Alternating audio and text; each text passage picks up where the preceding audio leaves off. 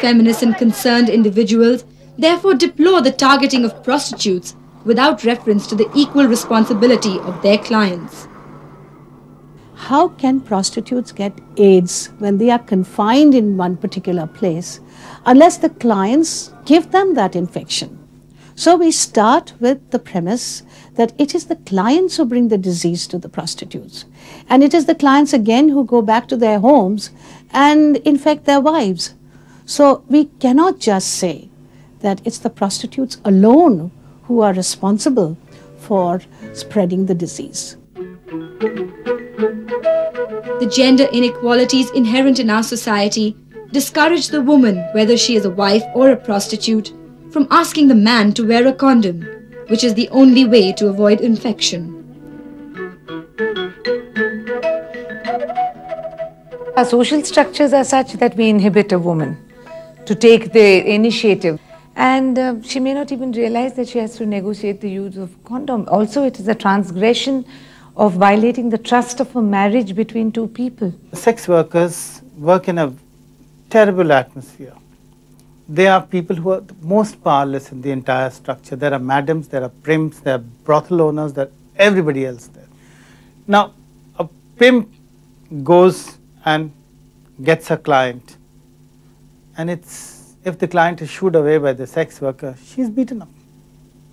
Pimp would say, I spent two hours getting this man and now you just shooed him off because you didn't want him to, he didn't want to use a condom. Dr. I.S. Gilada runs a free condom distribution program in the red light district of Mumbai. How much have such programs helped?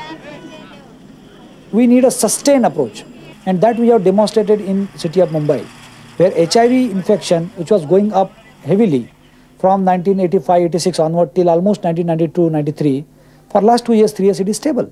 It is not going up with the numbers uh, uh, with which it was going up earlier. अपना घर से भी एक हो गया था ऐसे मर गया बच्चे ने इधर ही जेजी में से मर गए इसका बाद है ना बहुत ऐसा मरता है फिर भी है ना रुपए में चार आने भाग कम है मरने का ये जब ये ये निरुद्ध अपरता है ना बीमारी थोड़ा कम है It is impossible to gauge how many people are actually infected with HIV. And this problem is magnified in the case of sex workers. When you test them and you find out that one tested person is isolated, rejected, deserted, and thrown out, then other women naturally will keep quiet. So there may be more women who are conscious now, who have gone secretly, taken a test, and who know that they are infected but do not come out with it because they know nobody will want them. The sex workers at Dhantri, only willing to speak to us off camera, deny the existence of AIDS cases in their area. However, an NGO working in the area found several cases existing. In one locality, it's about six kilometers from here, we tested them. We took the samples six ladies and one client, man. And we were surprised when we received the report that all the seven people, the six ladies and the client, the man, were having had uh, AIDS. When we went to the next, the second community, we were so surprised that they had some serious skin disease inside. And doctors told, we cannot even believe how they are surviving themselves. These women flatly insist that they never have sex without protection. If so, they are a very small percentage because the statistics cannot be denied. An interview with 100 truckers revealed that 63% of them had never used a condom and many did not know where to get one. आपको लगता है कि ये लोग जब करते हैं तो अपने कॉन्डोम यूज़ करते होंगे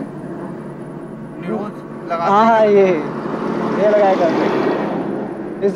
कभी कभी लगाते हैं और कोई वैसे वो आदमी होता है जो नहीं लगाता है वो अपने दिन भी चलता है on the Jaipur Mumbai highway itself 30% of the truck drivers tested were found to be HIV positive when we tested them this one man who was a truck driver he was to this man time to time. When he was passing from Jaipur to Ajmer or coming from Ajmer to Jaipur, he always going there. And I was told by that man that uh, he had, the, before also, he had the positive, uh, HIV positive. So they are infected from these people. This. What are the means to stop the deadly spread of HIV? A cure for the disease is nowhere in sight. Research is ongoing and methods to prolong the lives of those infected emerge every day. Over the last two years, there have been uh, rapid uh, progress in the area of drug development. But we, there are new drugs which have become available, which are effective in uh, prolonging life or reduce or prolonging the period between people who are good, infected and developing AIDS. But we cannot consider them as cure. I think we are long way off. We have strategies now in which we use certain drugs like AZT and many other drugs. And if the mother is taking that for a period of time, then the transmission to the child is greatly lessened. So these new strategies are coming up. In the West, a cocktail of expensive drugs keeps the effect of the virus at bay. But this option is virtually non-existent for the developing nations, still coming to terms with the basic necessities for all. Governments are doing something to A, import the drugs and import the drugs without uh, duty and things like that. And I think a lot of advocacy work needs to be done with the pharmaceutical companies so that they reduce the price for third world countries. Otherwise, we have no hope.